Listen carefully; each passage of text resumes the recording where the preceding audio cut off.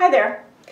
My name is Laurel Swinden, and I'm the principal flute of the Stratford Symphony Orchestra.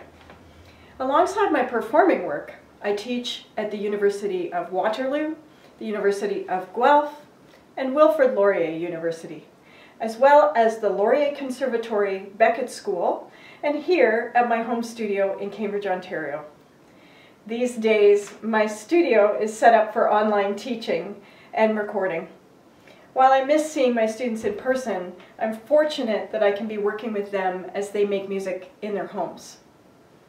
I'm also connecting with musical colleagues around the world by working on collaborative projects where we record rehearsal and performance tracks that we combine and create video performances shared on our YouTube channels and online concert series. It was such a pleasure to be invited to explore some of the different uh, treatments of the iconic Greensleeves tune with our guest artist Terry McKenna. Since Terry was playing Baroque guitar and lute, we thought it would be a nice idea to try pairing his historical guitars and lute with a period flute. The flute I'm playing with Terry in the videos was made by Rod Cameron. It's made from grenadilla wood and, or ebony wood.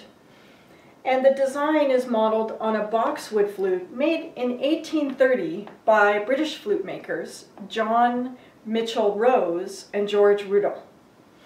Through the 18th century to the mid-19th century, the flute went through several stages of development, from a one-keyed flute through four keys, six keys, and finally eight keys, and then to the complex system of keywork that you see on modern flutes today. The different designs and fingering systems of these flutes offer special tone colors and tuning systems compared to modern instruments. I enjoy learning new Irish and Scottish tunes on these flutes, um, particularly the flute I was playing earlier. And the opportunity to play this flute with Terry was a special treat for me.